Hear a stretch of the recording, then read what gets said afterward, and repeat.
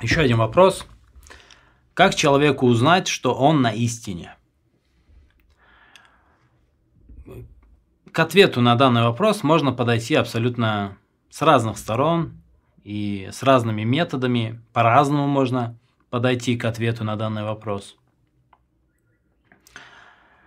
Но я разберу, попытаюсь ответить на этот вопрос именно с определенной точки зрения, с определенного угла зрения.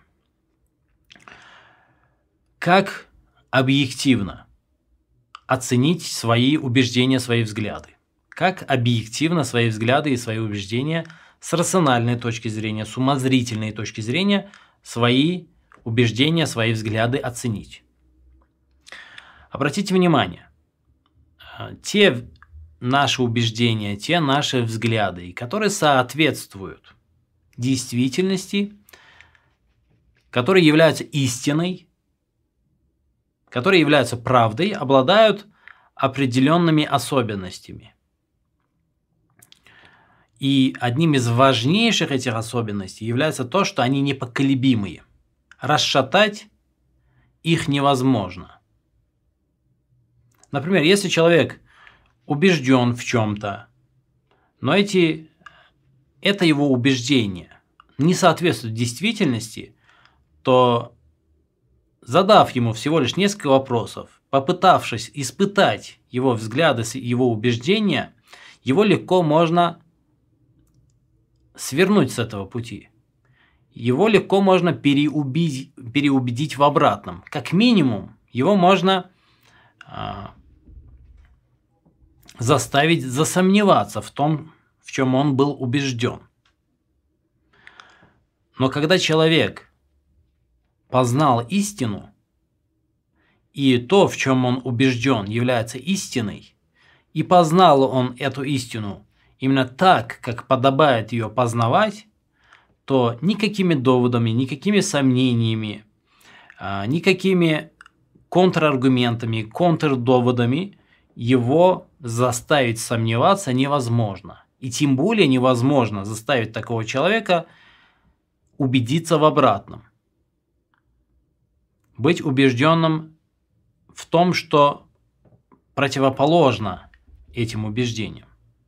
И поэтому, если вы хотите понять, на истине вы или нет, испытайте свои убеждения, испытайте свои взгляды вынесите свои взгляды, свои убеждения на открытое обсуждение. И посмотрите, каковы ваши доводы и аргументы, а каковы доводы и аргументы противоположной точки зрения.